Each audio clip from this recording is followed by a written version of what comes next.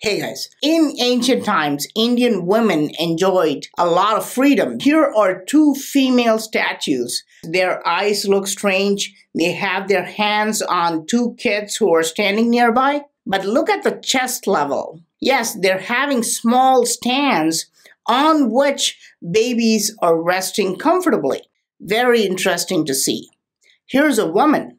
It appears that she's holding a telescope like device and looking at the sky. Look at the other hand. She's holding a similar device in the other hand also. Look at this woman. She's putting mascara on her eyes, even though mascara was discovered in 1872 in France. The statue is many, many centuries older than that, uh, by the way.